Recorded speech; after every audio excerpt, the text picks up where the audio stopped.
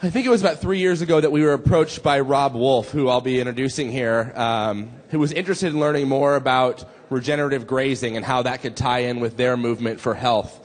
And it's been an ongoing conversation that we've had with him. He's been tremendously supportive. He's really dug into the work that we do um, and got to understand holistic management for really the decision making framework that it is. And so it's with great pleasure that I get to introduce Robb Wolf. I don't know where Robb went. Huge honor to be here. Uh, so we had about a 50% suicide rate on my second talk yesterday. Um, I used the talk that uh, if I'm going to go speak to a hospital or hospital system or a bunch of doctors and I'm going to beat them down, then that's the talk I use. I wasn't trying to beat folks down in that one, but um, yeah, it was kind of a mess. So I apologize for that. Uh, quick question: How many people in here are ranchers or food producers?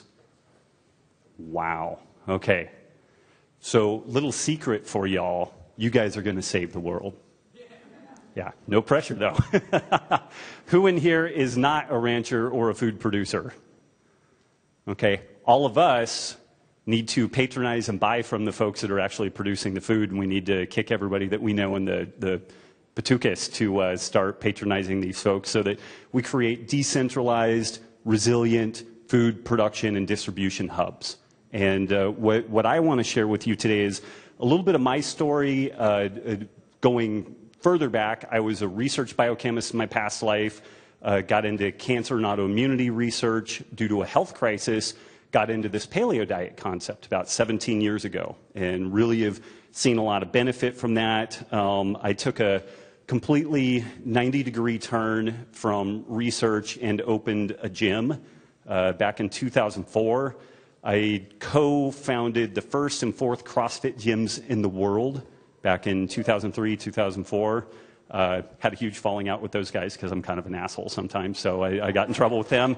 And, uh, uh, but I, I really, uh, growing up, I liked two things. I liked science and I liked working out and being in the gym. So I don't really have a lot of social skills or anything beyond that. So, uh, but I actually do like people a lot. And so I, I opened a gym and using the, the methodology that, that I discovered with this evolutionary biology ancestral health template, uh, we opened a gym called NorCal Strength and Conditioning in Chico, California back in, in 2004. And we became rather successful quite quickly because when we worked with our folks, I started things off thinking about sleep and food and exercise and gut microbiota and socialization from this kind of evolutionary biology perspective. And my, hopefully, if I pull this thing off properly, usually this talk is about an hour and 15 minutes, and I have like 30 minutes minus the time that I spent outside talking with somebody answering a question to uh, pull this thing off. So hopefully, I, I weave this all together.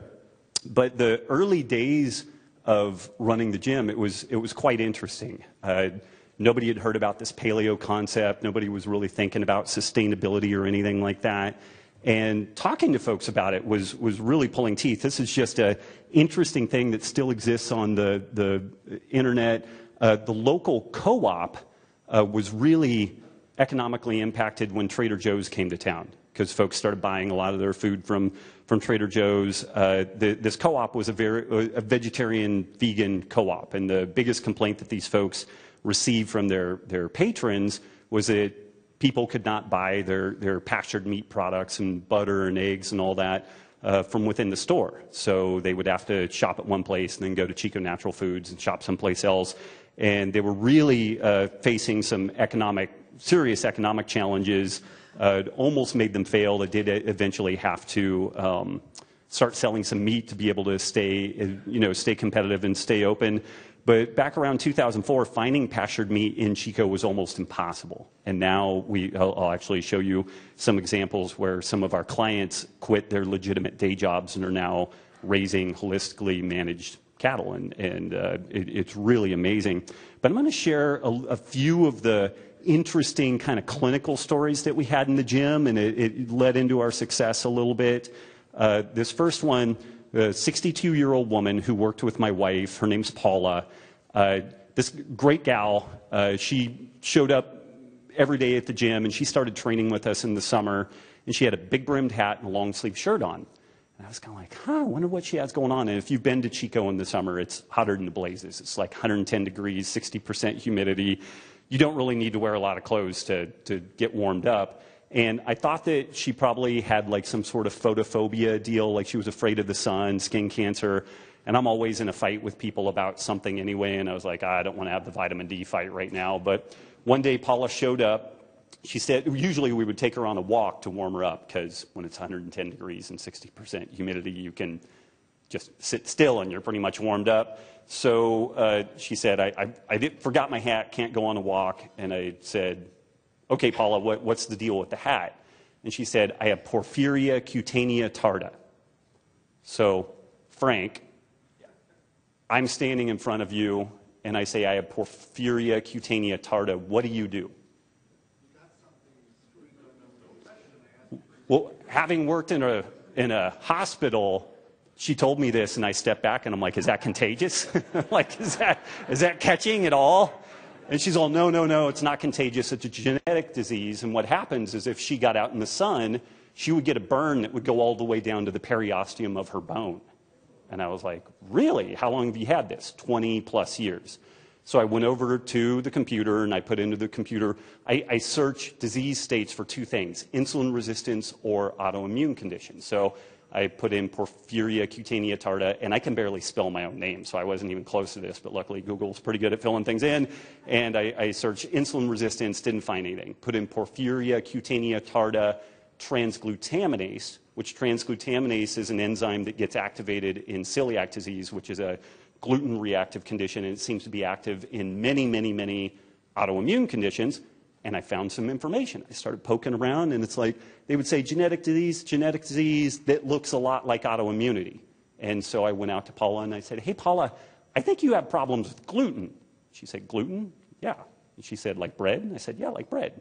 She's saying, if I cut bread out of my diet, I might improve this. And I said, yeah. And she's like, I like bread. And I'm like, I like bread too, but it makes me sick. I think it makes you sick. And so we had this back and forth, back and forth. Uh, she finally said, yeah, okay, I'll give it a shot. One month later, she was asymptomatic from the condition. She's able to run around with a long, you, you know, uh, uh, tank top, no hat, chased her grandkids around. About three months later, she showed up at the gym with a big brimmed hat, long sleeve shirt. And I'm like, Paula, what are you doing? She said, Well, I ate some bread. I'm like, What are you doing? You know, and, and uh, but the, the recidivism is a big deal. Clearly, some of this stuff tastes really good. And, you know, I figured that chasing your grandkids around and being able to run, you know, half naked and, in uh, Chico during the summer would be a, a, boon, but the, the bread won out in that case. Uh, another person, 28 year old fighter pilot, I just talked to a young woman this morning who also has narcolepsy. But this guy contacted me he became very, very sick in Afghanistan, caught a gut bug, and then after that developed narcolepsy. And as you can imagine, you know, narcolepsy, you get excited and you fall asleep. So if you're coming in for a carrier landing and you fall asleep, could be bad. So this guy was going to be grounded, and he had one more chance to pass his sleep study. He contacted me and he said, Can you help? And I said, I'll, I'll try. So I did my same deal narcolepsy, insulin resistance, didn't find anything. Narcolepsy, transglutaminase. Narcolepsy is an autoimmune condition, so it was asymptomatic after one month on a paleo diet. So the co- commonality all these conditions share antibodies to uh, transglutaminase. Uh, I would argue that most modern degenerative diseases are simply a mismatch between our genetics and our environment. We eat, sleep, live, move, love, interact in ways that are completely contrary to, to the way that we are wired to live.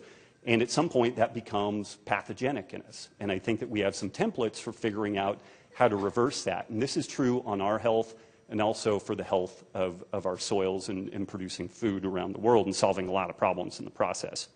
So we motored along with all this stuff. Um, we, we had a lot of success because we were able to help a lot of people with the standard gym type thing. You know, I, I, want to look good in my skinny jeans, and we were able to do that. And then we worked with a lot of people with some pretty complex health con- concerns. We had a couple of doctors we worked with that were very uh, uh, amenable to what we were doing. We were eventually picked as one of Men's Health top 30 gyms in America. And I mean, we're a little, at the time, we were a little 2,000 square foot gym in a, in a light industrial storage area. And when the mosquitoes would come out in Chico in the spring and fall, people would get eaten alive, you know. So it was kind of an austere environment, but uh, people liked it and they got a lot of benefit. Uh, we started really influencing the community around us, where once you could not find grass fed meat in the area, we now have three uh, groups of folks that have left their, their day jobs entirely and are now uh, producing holistically managed uh, grass fed meat, uh, poultry, eggs. Um, it's amazing the transformation that Massa Meats has, has wrought on the land that, that they manage. Um, the, the, the father, who's been running cattle for ages and doing it in a, a pretty conventional fashion, um, he was worked upon by the son, and he's like, hey, man, give me 10 acres and let me fiddle with this, and we'll see what happens. And the 10 acres started looking way better than all the other managed areas, and then they ended up taking that over, and now they've taken over some other acreage. So we, you know, we've had some really great uh, effect. We had some great reach on a local level, and um, eventually I wanted to start putting this out to a, a broader audience. And so I, I, um, I, everybody's familiar with SETI, Search for Extraterrestrial Intelligence. I kind of flipped it around. I, in, instead of looking for intelligence, I, I started beaming some, you know, in, intelligent signals coming in. I started beaming this stuff out, and I was hoping that we would get some sort of a response. And the response has been pretty good. And uh, so now we're going to we're gonna shift gears a little bit from kind of my personal story to some, some bigger picture ideas about like economics, Moore's law. And it seems completely random access, and it is because that's the way my head works, but it hopefully will all tie together. But there, there's this concept in economics called Moore's law. Guess who came up with it? This guy named Moore. Yeah, it's kind of like who's buried in Grant's tomb kind of, kind of deal. But he observed back in the 1960s that in general, microprocessors and a whole host of processes show this, this uh, tendency these microprocessors got twice as fast, half as expensive, and it took about 18 months for this to occur. And we're still on this Moore's Law trend. The, the uh, smartphone you have today is better, faster, cheaper than the smartphone you had two years ago. The one two years from now is going to be better, faster, cheaper. At some point, probably uh, Moore's Law will plateau out with technology, but there's usually a pretty good run on this stuff. But it's interesting if you allow innovation and markets to do their magic, most things follow some sort of a Moore's Law trend for a long time, but I'm going to show you something that hasn't followed a Moore's Law trend. Um, it's interesting. So this, this shows the, the black line, the cost per unit of computing power has plummeted, while computing power has exponentially increased. Um, it is, uh, this is a great one. I, I love this one uh, cost of a hard drive, uh, uh, a gigabyte of hard drive space. In the 1980s, it was over a mil- in 1980 it was over a million dollars for a gigabyte of, of memory or drive space. Today, it's less than a penny. It, it is so cheap that we use hard, uh, uh, these flash drives as mediums other than the intended artifact. It's more valuable as an advertising means than it is as actually carrying data around. And not that long ago, it was a million dollar item. Uh, it, it, applies across other uh, industries. This is uh, uh, the Human Genome Project, sequencing the human genome. Um, I'll do a little, little question here. So, so you see an exponential trend here. It's going down, going down. What, who was looking at this problem here? And then who entered the scene here? government, private enterprise. Pretty cool. And, and this, that thing is actually, should be a round of applause there, actually. Um, yeah. Uh, that thing's actually a logarithmic graph. Like if, if it wasn't a logarithmic graph, it, that stretches it out. It actually just plummets. It's like it fell off of a cliff. So the government was doing a good job. They were getting a Moore's Law trend on that, and then private enterprise came in and crushed that thing. Now uh, I think you can uh, sequence a human genome for like uh, 1800 uh, bucks, something like that. Like keeps getting cheaper and cheaper. So we mo- know more about genetics and pathology and biochemistry. We know more about every disease state you could imagine. But check this stuff out. The uh, Congressional Budget Office, very nonpartisan, pretty orthodox governmental agency, predicts by 2030 we will uh, carry 300% of our, our GDP as debt. A massive driver of that debt are exponentially growing national healthcare costs. And people will say that this is driven by age, an aging population. It's wrong. Demographics only cause a linear increase in costs. Our healthcare costs, mainly driven by diabetes, obesity, diabetes, and the related uh, comorbidities, that's the thing that's driving an exponentially increasing healthcare kind of kind of debt burden. Uh, some of the, the big thinkers in the military look at our economic and healthcare situation as an existential threat to the United States. Existential threats are things that could remove it from existence comet impact, nuclear weapons, and the way that we run our economic and healthcare systems are considered to be existential threats, could remove us from, from existing the way that we are. Um, this is an interesting graph. It shows an upper and middle potential bound uh, by 2050. If we're lucky, then one in two people will be type 2 diabetic or, or, or uh, peri-diabetic. If we're unlucky, then one in one people are. Awesome odds, huh?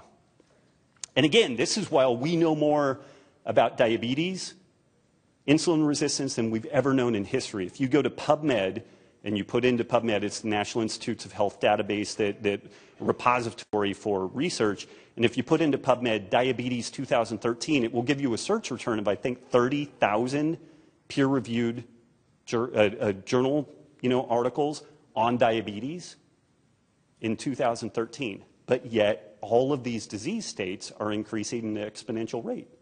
And I've got to ask the question hey, how could that be? How do you know more about something, but yet you can't affect change in that process? Maybe we're doing something wrong? I would, argue we're doing something wrong. So there's not, this isn't across the board. There's some examples in medicine where things get cheaper and better. And one great example is LASIK eye surgery. This isn't actually a, very out of date uh, uh, graph. LASIK eye surgery, I think back around uh, 1999, uh, 2000, was about $2,000 an eye. Today it's about $400 an eye. And the interesting thing about LASIK eye surgery, it's not covered by insurance at all. It's 100% out of pocket, and it's a highly competitive market. So it, it drives lots of innovation, lots of competition, brings prices down, improves the, the quality of the service. So, a quick recap. Uh, when technology advances, goods and services improve, costs decrease. We know more about biology, genetics, pathology than ever, but medical costs increase, quality of care decreases, disease rates increase. How on earth could this be so? Like I said, I, I think that we're doing something wrong. So, I'm going to show you an example of how I think we're doing something right. Uh, back in 2002, uh, three University of Nevada, Las Vegas police officers suffered strokes or heart attacks. All of these people survived, but when they, when they survive the event, they are medically retired because, uh, because of the demands of their work. It, a stroke or a heart attack is considered to be a workman's comp type claim. It becomes a labor and industry type, type issue. Uh, to retire these folks, it's cheaper if they die. It's horrible to say. It's very expensive if they live. The on the books costs are about $1.2 million. The real cost can be 10 times more than that. How many of you are aware of the massive underfunded uh, liability scheme within every municipality on the planet, or particularly in the United States? Yeah, we are crushed by that. And this, this is the primary driver. They try to budget one number for healthcare, and the real healthcare costs are much, much more. And again, this is largely being driven by diabetes uh, influenced activity. So there's an outfit called Specialty Health that was founded in 1993. It was originally an orthopedic risk assessment program.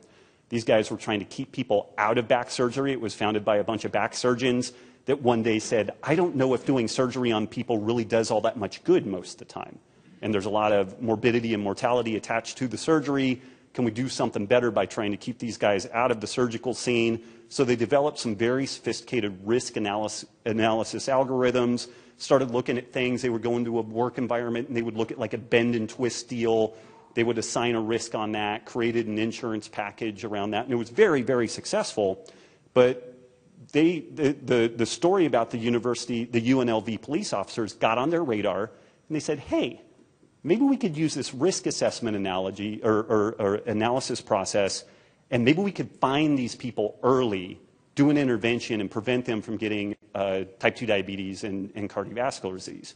So they started looking into that. In the beginning, they would do standard blood work, HDL, LDL, total tri- triglycerides. They would do Framingham scores, which are a very outdated mode of looking at cardiovascular disease risk. They would take these cops and firefighters who ate cop and firefighter diets and put them on an American Medical Association ADA gold standard diet. And you know what happened to these people? They got worse. The cops and firefighters, donuts and coffee and maybe crack and hookers. You don't know how that goes, but um, their standard diet was better, better than the ADA diet. We have two years of data on this. It's not an aberrant deal. It wasn't like, ah, well, two people got worse and six people got better and we round filed the results. No, we have two years of data on this where they followed the rules handed down by DASGov and these people got worse. So, our clinicians, being bright people and really actually wanting to help these folks, they said, if high carb, low fat isn't working, what do we need to do? Well, they went kind of uh, uh, lower carb, higher fat. Uh, we started working with these guys at the National Lipid Association. They are a splinter group that, that broke off from, uh, from the um, uh, cardiology scene. And we've really done some, some remarkable work. We do some NMR testing, which, if you guys want me to talk about that, I'll, i can talk to you uh, kind of separately. Um, the current program, we do a yearly risk screening. Uh, we find high risk individuals and we put them on a low carb paleo diet. We do some very targeted pharmaceuticals. I have a sneaky suspicion that nobody has a statin deficiency.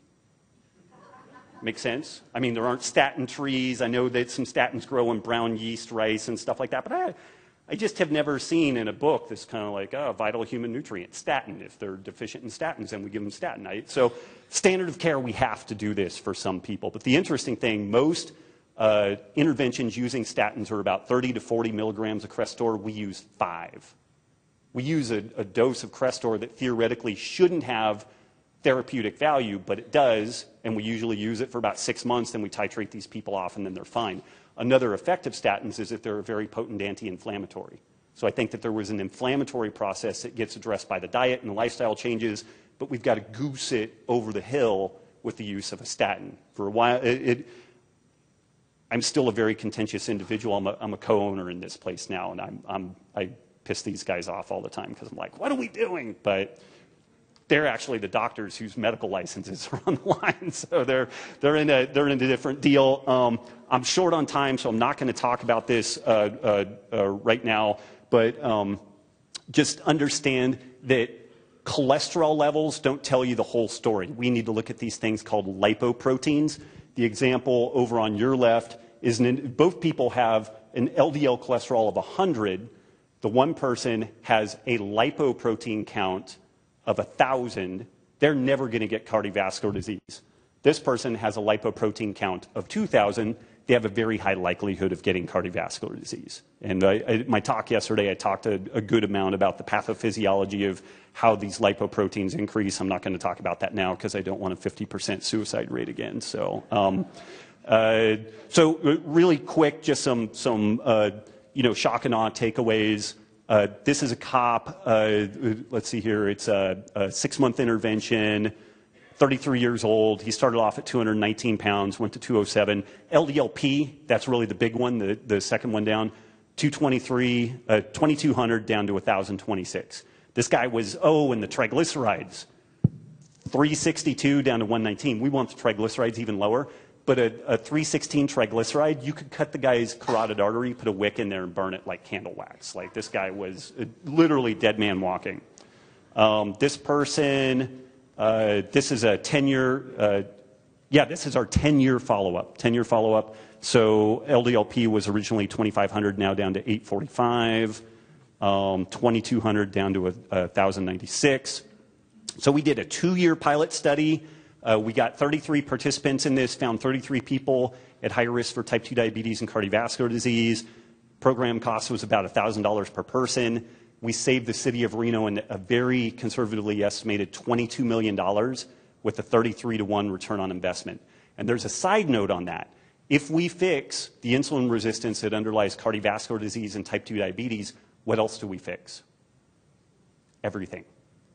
Parkinson's, Alzheimer's, breast, colon, prostate cancers, glioblastomas. I mean, you, you end up mitigating disease risk across a shocking number of, of platforms. Yeah, it's amazing. Good stuff. So we're making great friends with people. We All right, Robb, if we could do it in one minute and close One minute. Uh, we work really tightly with uh, Polyface Farms, clearly the Savory Institute. I do a lot of philanthropic work with the uh, Farm to Consumer Legal Defense Fund. Uh, we were approached by a Fortune 500 company that's very interested both in carbon sequestration via the Savory Institute and the medical risk assessment program. I'm into the protein, carbs, fat deal. That's where most of my folks follow me. A lot of people were super cranky with me for talking about economics and sustainability, and they were like, Robb, why don't you stay in your own lane? And when these, these guys from the Fortune 500 company reached out to me, I was like, yeah, we're actually right. And I had something I wanted to say to these guys, but Johnny Cash really says it best for me. So, really quick, I, I uh, j- just to wrap this thing up, I know I'm going to go over just like a minute. Um, so, Dr. Jim Greenwald is our head medical scientist at the risk assessment program. This, this still makes me oogly googly, so it's hard to uh, describe this. So, Jim Greenwald, this is his dad, Ed Greenwald. He was like second in command at the FBI at this time. This is uh, Robert Braidwood, who is Jim Greenwald's godfather and is the guy that got Jim Greenwald, our medical director, into evolutionary biology and got him into medicine. Now, who is he? Robert Braidwood is the anthropologist who discovered the transition from the hunter gatherer lifeway to the agricultural lifeway and basically characterized that whole process so I wouldn't be doing what I'm doing today had Robert Braidwood not done what he did, and Ed Greenwald wouldn't be practicing medicine if Robert Braidwood wasn't his godfather. So, pretty cool. So, thank you. Huge honor to be here. Awesome. Thank you, Robb.